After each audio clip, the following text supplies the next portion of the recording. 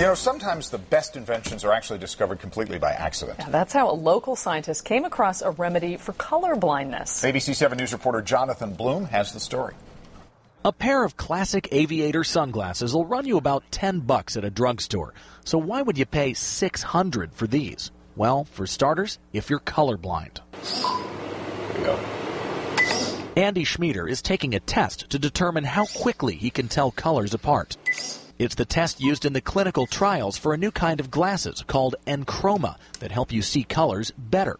Don McPherson discovered it by accident when his friend borrowed a pair of his laser safety goggles to use as sunglasses while playing ultimate frisbee. And he said, These are great. I can see the cones.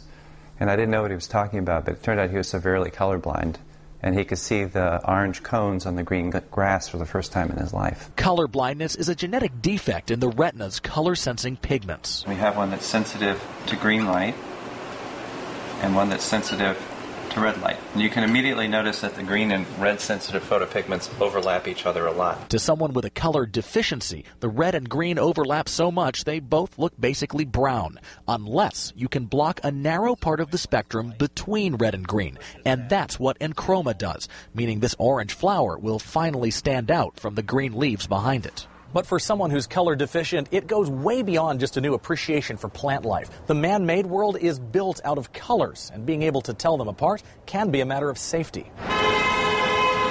From traffic lights to road signs, if you can't see color, McPherson says you're more likely to hesitate when you have to make a split second decision. In the clinical trials, he says colorblind patients made those snap judgments 30% faster with the glasses on. But what really tickles him is something else. They're pointing at a lavender flower and they've never seen lavender before in their life. You know, that's the goosebump moment for me. In Berkeley, Jonathan Bloom, ABC 7 News.